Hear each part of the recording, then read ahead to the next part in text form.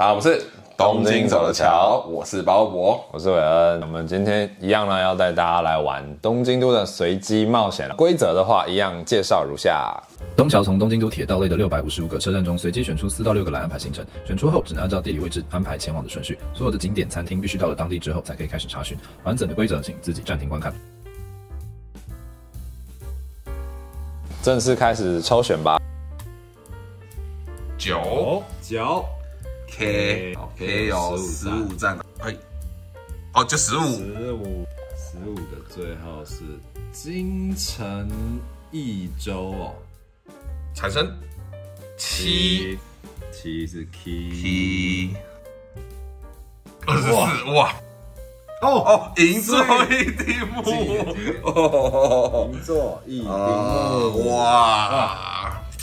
今天真的是好运，好运，好运，好运，好运！爽死了！除了京城一周，行不在终于我？们可能就是京城一周完之后，那个银座一丁目可能就拍六个小时。这样。哦，Go！十四。四。谁十五，我们要去洗脚。哦去洗脚站呢头哦，都立大学。好，好，那给大家看一下我们这次选到的所有的站京城一周，费用的也放在银座一丁目，喜足，都立大学，备用的是护国寺跟崖上。我们的第一站要从哪里出发呢？我们现在人在高原寺，等下去京城一州站。第一站就从东京的西边高原寺，坐约五十分钟的车到东京东边墨田区的京城一周。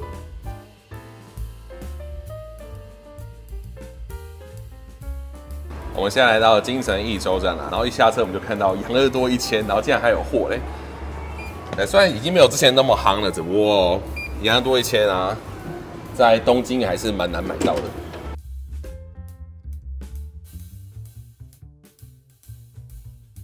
好了，我们现在在京城一周车站附近。那大家有没有觉得这个背景很适合我们现在的穿着，对不对？好像像森林一样哦。好，那我们来用 Google Maps 做功课，看这附近有什么好玩的东西呢？请帮我讲解一下刚刚查的行程吧。这边其实比较偏向住宅区，那现在时间也是接近十二点了嘛，所以我们先选择吃中餐开始。然后呢，接下来吃完中餐呢，我们应该会，这是我们吃中餐的地方嘛。那我们等一下应该会花一点时间在附近走走。那这边其实包括以前来过，有卖一些呃，就是日本很传统的甜点啊。我们再沿着河河堤这边走，然后走到这边公园，可能就有一些像神社啊，或是一些可以看的地方了。那我们就安排在这边，大概花个一个半小时到两个小时左右吧。这站其实比我们想象中的还要繁华有这种大型的算，有点已经有点像购物中心的感觉。然后这边也有这个家庭餐厅，然后这边一个麦当劳，其实还蛮以住宅区来讲还蛮不错的。然后，说实在话，如果我想要搬家的话，如果这边房房租便宜的话，还蛮适合住这边的。跟大家科普一下啦，因为这里其实离鸭上浅草没有到很远。对。然后我们等一下会去的河滨就是那个于田川嘛。好，我们的中餐要来吃这个夏町中华寿把狮子美食堂。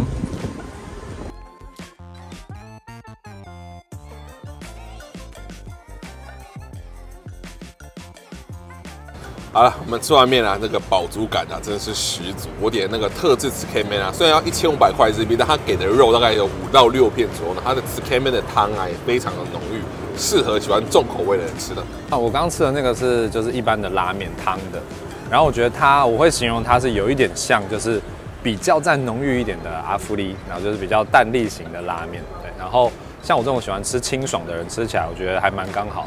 然后另外就是刚刚我吃到它那个炙烧的鸡肉，我觉得它的香味就是烤过的关系，然后很棒，所以还蛮推荐这家拉面。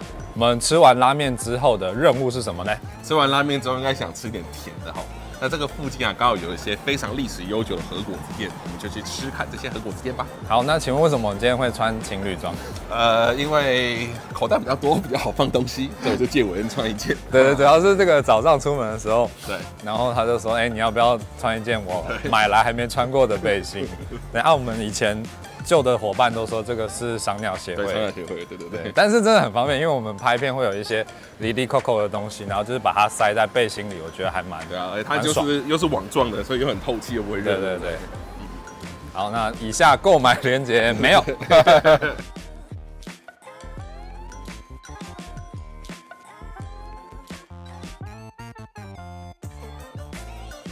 就是因为看到我们后面啊，有一些那种小小的公园，嗯然后我想要讲就是，我觉得日本这一点，或者是说东京啊这一点做的还蛮好，就是住宅区啊，或者是有一些那种观光区或是什么河边，都可以看到很多大大小小的公园这样。我们刚刚就这样散步经过了供奉地藏尊的小庙，我们进去看一下吧。有没有给你一种历史很悠久的感觉？真的可爱哦！对啊，你不觉得东京厉害的点就在于，就是虽然我们是来不知名的地方冒险，可是它就是总是会有一些小小的景点。真的，真的太棒了。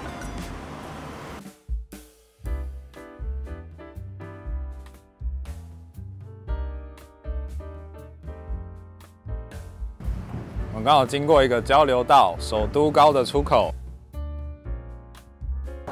我们经过了一家卖那个应该和果子或饼的店，然后看起来还蛮人气的，一堆人在排队。我们刚刚就是排，是应该是这边分数最高的，它被那个三点七四分。它是卖那个三毛吉，还有卖团子。三毛吉就是像这种东西，就是绿绿色的，台湾可能有吃过类似的东西啊。然后三点七十分超高，我们等下再试试看。这个炒饼啊，它里面应该是有包红豆，然后应该有点类似像台湾的超阿贵。但我觉得它这个软硬是刚刚好的适中，然后它的那个啊、红豆吃起来也不会太太腻，所以非常的好吃。这个是 yaki dango，就是烤团子。对对对。嗯，嗯，它这个我觉得最有趣的地方是在于它的那个酱，就是它跟我一般吃过的酱的味道有一点点不太一样，好像又再更甜一点吧。然后它的 dango 也是跟我平常吃的不一样，是它是偏 Q 的，因为我平常吃到的那种好像都是比较偏硬一点，然后它是已经有点接近瓦吉了，还蛮特别的。哇，我刚刚试吃那个炒饼啊，我觉得它的那个炒的香味真的很浓郁，超喜欢的。很不错哦，这一百五十年的老店的确惊艳哦。那我们接下来呢还有两家要去吃，我们就去试试看吧。Go！我们点的团子来喽。嗯，然后这家店因为只有这一个商品，所以就是一个 set。它这个这家店是叫盐问团子嘛？对。然后它这个牙签套什么的很精致。对，然后刚刚 Bob 说这个他们这个盘子啊，也是这家店算呃就是特别设计的。现在吃这个颜色的好了。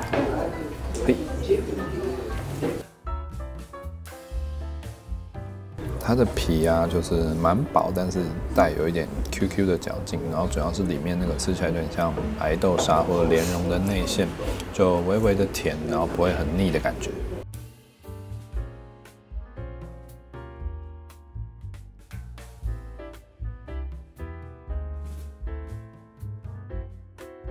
大正十三年的时候，这家店就长这样子，对，它是在一八九三年的时候开的店，就是感觉啊，桃太郎应该有在这边。对，杀敌之前对，杀敌之前来这边吃个团，跟他的猴子跟鸟，对对对。我们第三家要来吃有四百多年历史的长命寺樱某鸡，就是樱花饼，然后配着那个叶子吃的，超好吃的一个饼。我们进去买吧，直接帮你两个就准备好，所以进去大概一秒钟就出来了，多少钱？五百块两个。那我们就带着我们的樱饼拿去雨田公园吃吧。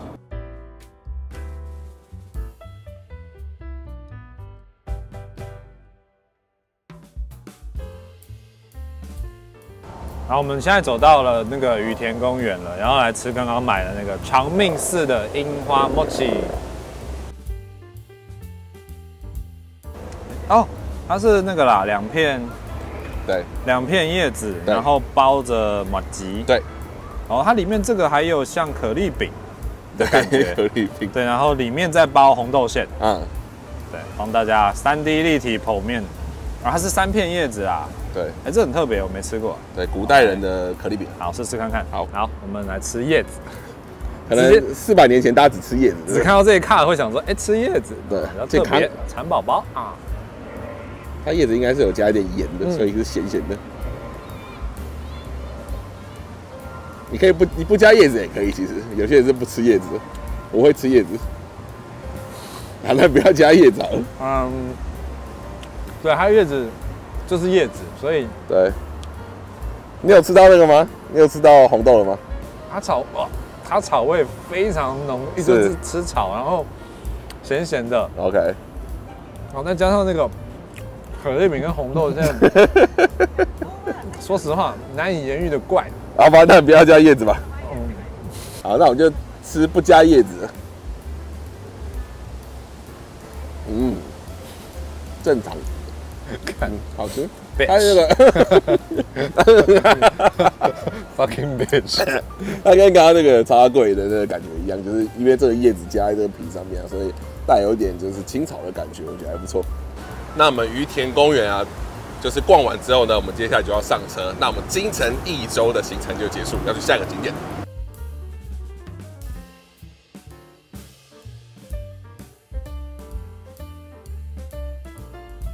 今天这边刚好有跳蚤市场，很热闹。接下来我们又花了五十分钟左右，从鸭上站坐车来到东京的南部喜足车站。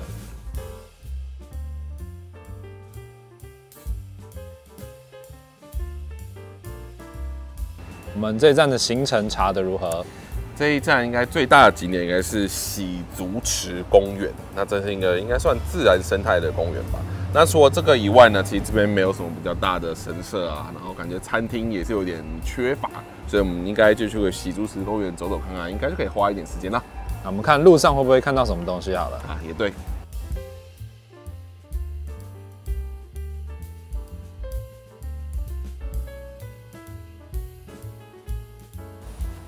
你刚刚说这一区的感觉啊，跟我们刚刚那个有一点夏丁风味又不一样，对不对？对啊，它这边的人行道跟它的就是旁边种的树啊，还有它这边看起来的房子比较新啦，比对？较新一点，对不对？然后比较多那种一户建，对对对，所以感觉有钱人可能不少，我觉得。嗯所以它那个不同的铁路，然后沿线的住宅区的形态也会有一点不一样。像我们现在是东极吧？对东极线上面好像就真的会住比较呃有钱的人。嗯嗯嗯，对啊。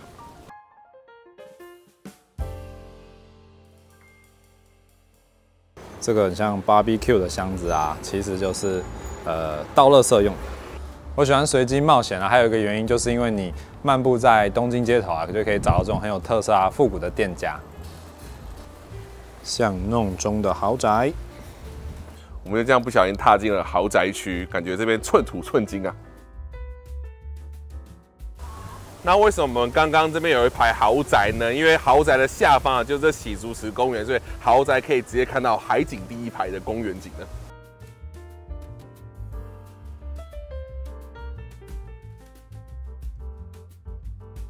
这个公园啊有池子啊，有天鹅船，然还有个神社，对不对？还有一个神社，让你有没有让你想到什么？啊，就我家附近吉祥寺的景之头公园啦。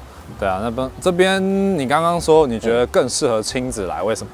因为景之头公园其实蛮像观光景点，所以对一到周末的时候人都超级无敌多。但这边呢，即便是现在礼拜六的下午啊，人还是少少的，所以很适合亲子在那边散步、溜达、走路，或是就是看一些自然生态啊等等的。对，所以如果你来东京蛮多次，然后想要 follow 我们这种比较不一样的行程的话，啊没什么观光客，可是其实也可以来这边逛逛。喜竹池公园。从喜足车站最快大概十六分钟就可以抵达其实并不远的都立大学。那我们现在第三站呢，来到了东极东岸线上面的都立大学，来看这边有没有什么有趣的东西吧。这个车站一出来，对面就有超商啦，还蛮便利的。好，我们都立大学的行程我刚刚看啊，就是这边车站出来看似热闹，但好像没有什么好景点。对，那它热闹的原因呢？因为这边就是住宅区，所以当然也没有什么知名的观光景点啦。但是呢，这个附近呢，其实因为生活机能还不错，所以其实还蛮多，就在 ID 企业的会住这边，因为这边的房价其实还蛮高的。那我们接下来这边呢，可能就买个起司蛋糕，然后到公园去坐一下，然后吃个东西，然后再去下一站吧。好，然后还有刚刚说要逛一下这边的商店街对。，好，Let's go。我们刚刚是说哦，没有什么景点嘛，但其实现在这样在车站这边走一走，我觉得其实散步也感觉蛮舒服对啊，的。这边真的对行人还蛮友善的。这边有行道树，然后可以放脚踏车，然后这个绿树的环境也做得还不错的。对啊，其实仔细想想，你说中目黑有什么景点，好像也没有，但其对实逛起来就是舒服，觉得那个气氛感觉很好，我就想让这边走路嘛。所以其实大家可以来这边晃晃。好，为什么带领我们来到这么奇怪的小巷？因为我刚刚用 t a b l e 搜寻，然后这附近有一家分数还蛮高的骑士蛋糕店，所以我们就走到这个住宅区里面，竟然就发现这一家。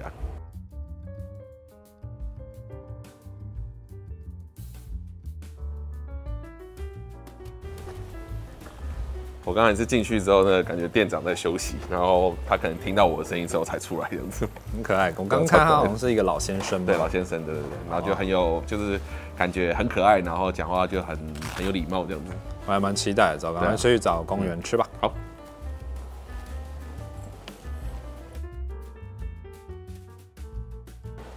我们来到中根公园啦。哎，那因为今天是假日，所以大家可以看到非常多的小朋友。对，那我们两个奇怪的大叔 在那边吃起蛋糕，对不对？找地方吃 cheese 蛋，糕，在那边好了，蛮搞笑的。哎，但那边有很多小朋友。好，没关系，我们再找找。好，那就往上走好了。好，这里完全是儿童乐园。这个地方完全体现了日本民众假日的生活。我们来吃隐藏在巷弄中神秘老人做的 cheese 蛋糕吧。对，Yamaguchi 老头蛋糕，你 你这样大家会以为 Yamaguchi 是老头的意思。做的呢。好啦，我们可能没有那个叉子，所以可能要用手。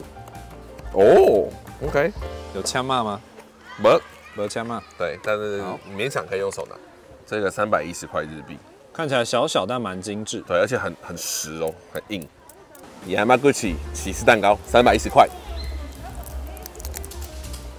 嗯，哦，嗯嗯嗯，哦，它那个酸味啊，非常的适中，吃起来是奶味十足，然后最后那个下面那个派皮啊，让整个起司蛋糕点缀起来，好吃。三百一十块，我觉得真的超级值得了，这家应该要红。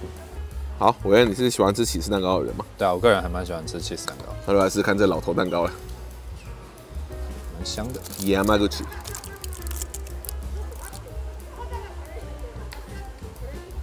好，很好吃，很好吃，好吃哦，嗯，很好吃。三百一十块。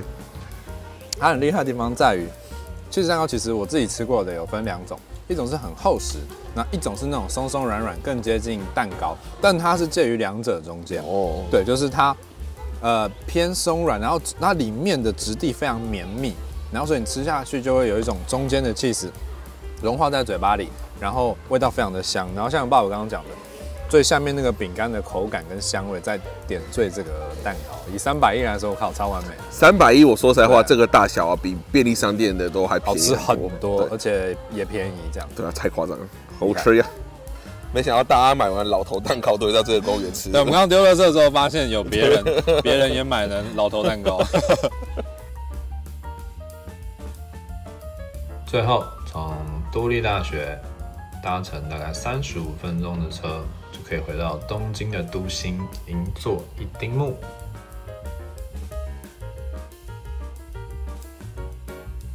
我们来到银座一丁目站，那既然有银座这两个字，就知道不用找任何的行程了吧？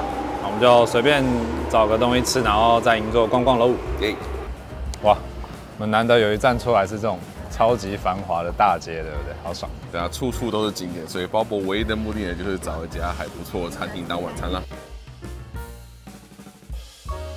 那我们去吃吃看三丁目的咖喱店因为这分数非常非常的高所以我也不知道会不会有位置啊走所以先去看看喽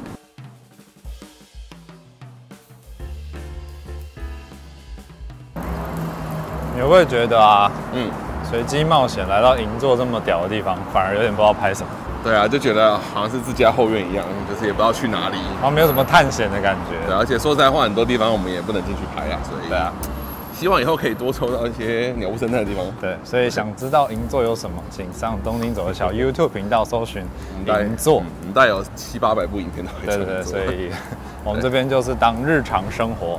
哎，哎，我们虽然是在银座，但这里其实有一点微微没有很热闹。对啊，这边应该是银座的边陲地带的吧不过我们的咖喱店就在那里啊，看起来还蛮复古、蛮可爱的。？Let's go，而且门口这不是违停，这是停车位，还蛮特别的。真的。哦，不错，蛮可爱的。啊，试试看啦，希望位置。哦，排队中的鲍勃，对，他的门上面贴了一大堆摆明店的那个 sticker。对啊，一七八一九二零到二二都是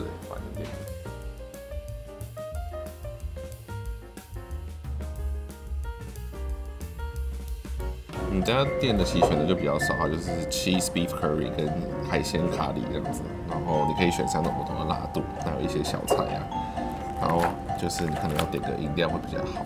啊，就是这家店的装潢让我跟鲍勃都蛮喜欢。然后另外就是虽然不能拍，但是呢，老板娘她是一个就是感觉很很典雅，然后很有礼貌的的女生，然后让我觉得跟这家店的风格也很搭这样。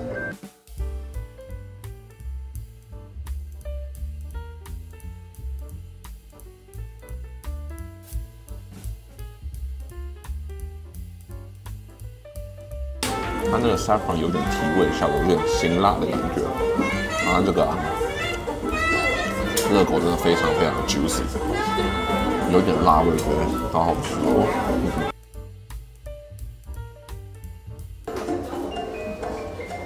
我 点这是牛肉烤去 cheese 咖喱，哇，这咖喱味的感觉辣度刚刚好。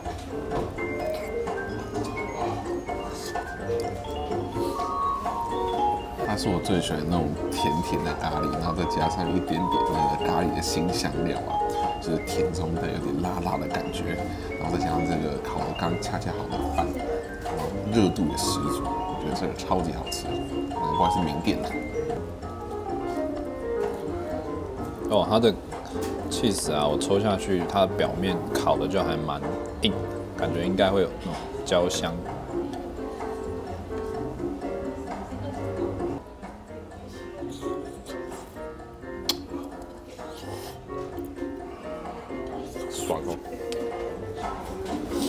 觉得这家咖喱的特色就是它那个烤的 cheese 的部分啊，就是有一点焦焦脆脆的口感，然后也蛮香的。然后另外，因为我点的是新口的咖喱，所以有一点微辣，还蛮刺激食欲的。然后它咖喱本身就是跟我可能可能因为我的是新口的关系，所以我觉得它那个香料味其实也还蛮浓重，还不错。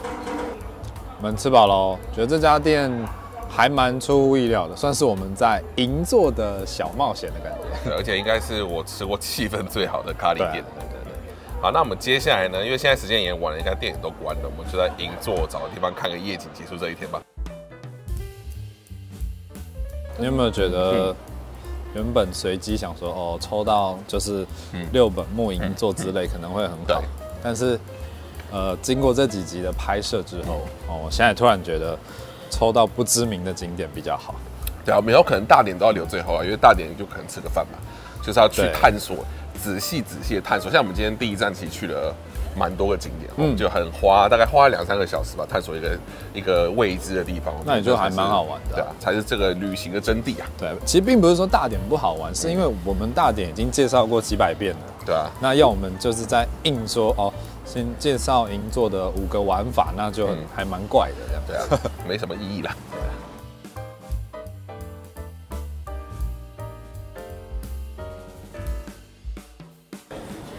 我们又来到熟悉的东极百货楼上啦，熟悉的老朋友，没错。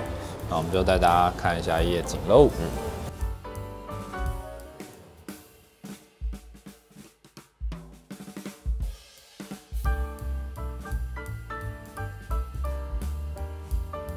好，我们现在现在时间已是八点半，那我们也准备要回家了。那我们韦恩这这次的行程有没有什么特别的想法呢？哦，我自己是觉得今天的行程呃第一站那个京城益益州益州，嗯嗯，对对，然后那边就是有吃到那个拉面，我还蛮惊艳的。嗯然后刚好那边因为是比较下下町的地方，嗯然后就就吃了三家。呃，蛮有历史的那种算和果子的店，嗯嗯，我觉得还蛮还蛮幸运的，嗯我今天觉得今天虽然没有什么大自然的行程，没有壮阔的山河，但我觉得今天啊，我们在吃的方面非常非常的讲究，所以今天真的是非常非常的饱。然后我觉得很推荐大家到小站啊去走一走，然后找一下当地的美食，有时候会觉得就是非常的惊艳哦。对，还蛮有趣的。嗯，好，那我们就这样结束了。我是包波，主人，大家再见，拜拜